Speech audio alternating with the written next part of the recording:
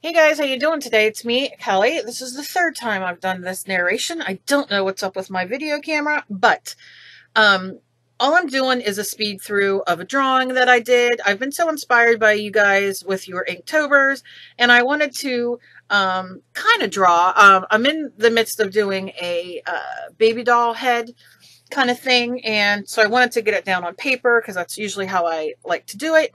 And I thought, well, I was sitting here drawing and I would throw my uh, webcam on and record it and just do a quick speed through. I know some of you guys don't like these, but um, this is just what I'm doing today. Um, I really wanted to show you guys because look how the face, I drew kind of like an oval and um, it really did not work out. Um, and you can see I'm just erasing it. Um, a lot of you guys ask about drawing and uh, tips and that kind of thing. And the best tip I can give you as a mixed media artist is never be set uh, exactly on what you put on paper to how it ends. I, um, as well as a lot of mixed media artists, artists end up not having the vision in their head or what they started out as be their final result. Um, and as you will see, the face is different and um, you know, the shape of it and everything else. It's, you know, I'm just kind of doing like the, uh, the version on paper that I like to save. So when I do a baby doll, I love redoing baby doll heads and I love sculpting them. Um, the creepier, the better. And although this is not creepy, you'll see I add a little creep at the end, but not much. Um, and it's just me playing. And uh, I'm just drawing with a very inexpensive um, point. It's a point five, I believe. Yeah. Number two, uh, mechanical pencil from Bic. And as you can see, it has a, the reason I'm using this, because I really, I, I, really don't like the thinner leads at all, but I'm using it because of the grip. See the pencil grip? My hands have been really bad lately, and I need it to, uh, I don't know, just to give me a little bit more, you know, uh, a little bit more grip.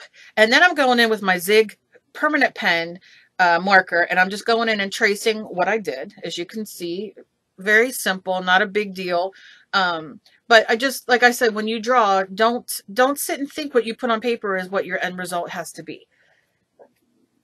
Everything's fixable. Like you can see the face that I did. I changed the whole look of the doll and the face um, and the shape of the face just by erasing that bottom part. But it gives you somewhere to start, and that's the most important thing. You can't get hung up on stuff. Now, if you're an acrylic, um, somebody who paints acrylic or watercolor who does realistic uh, paintings and such and drawings, um, yeah, your end result's going to be what you see. Uh, it's like going to a beach and looking out and you see the beach and the water and the sky and it's gorgeous and you paint that and that's a realistic um, type of painting. So when you go home or you sell it or what have you, when somebody looks at it, they see what you saw because it's realistic.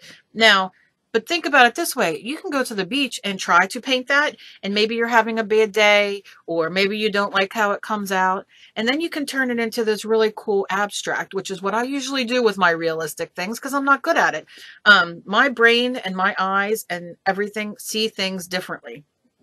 So then you can turn that into a really cool abstract with those same colors, with the, you know, the browns and the tans and the blues and, and whites and, and make a really pretty abstract. And it still can convey the beach, but it's not, um, you know, to the point of such realism, realism that you look at it and do you know what I'm saying? If that makes sense, you know, always just create at the end of the day, just create. Don't be hung up on the end result uh, or when you write, you know, when you draw or do whatever on the paper. There are such beautiful watercolor artists out there and and acrylic artists who, you know, have in their mind what they want to create on the canvas or in your art journal and they come out beautiful. I'm not one of them people. I just, mine barely ever comes out the way I have it in my head. Um, so I do like to sit and you know, just play around and draw. And that's, like I said, one of the reasons I turned the camera on just to show you. Um, no, I'm using just a regular number two pencil to shade, and I'm using a Q-tip to kind of, you know, shade it out. Um, and leaving it darker around the eyes and the head. And um, although this isn't a typical creepy kind of thing, um, the touch that I give at the end is is going to make it a little creepier. And I'm just shading it all in. I'm not, you know, not worrying about it too much. I'm just having fun and doing it so I have an idea of the aesthetic that I want to have. Um, but again, doesn't look like anything that I started out with an oval and, and everything else. Everything is fixable. Um, and if not, you throw paint over it and you, or you glue, you know, scrapbook paper on it or whatever, and you just go to town and have fun never get hung up. Art is to save you. Art is to help you. Art is to get you out of your head for a bit. It's to make you, you know, do something creative. And there are wonderful, like I said, wonderful, wonderful artists out there who really can sit and teach acrylic painting, you know, from start to finish. And I'm almost envious of them, almost. Um, because I do enjoy my mixed media. Uh, that just suits me absolutely perfect. I've even had uh, videos where I've talked about why I love mixed media so much.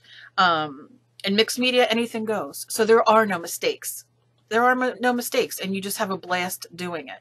Um, so yeah, so never, never get hung, hung up on things. Sit down with a pencil and a piece of paper and it can be a piece of printer paper. It can be scrapbook paper, uh, any kind of paper that you have and just sit and draw. It could have color on it. It doesn't matter. Excuse me. Just sit and draw and have a blast. And as you draw, then you can sit and you can, um, you know, figure out, oh, I want that a little smaller, that a little bigger. It doesn't matter. Now I'm just using a red marker here to add spirals in the eyes.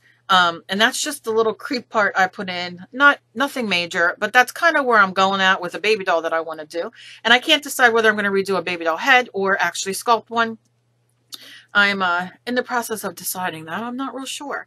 But I just thought I would come on here and do that because I get a lot of emails um, about starting drawing and not having confidence. And, you know, my answer to everybody is just do it. Um, because you'll just, you'll, you'll get so much better and you'll know more of what your aesthetic is. So thank you so much for watching. I really appreciate it. And as always, please be kind to each other. You never know what battle somebody else is fighting. I love you guys so very much. Please leave me a thumbs up. If you enjoy my videos, I really appreciate it. Also, I'm on Patreon. If you'd like to donate, I would really appreciate it. My link is down below.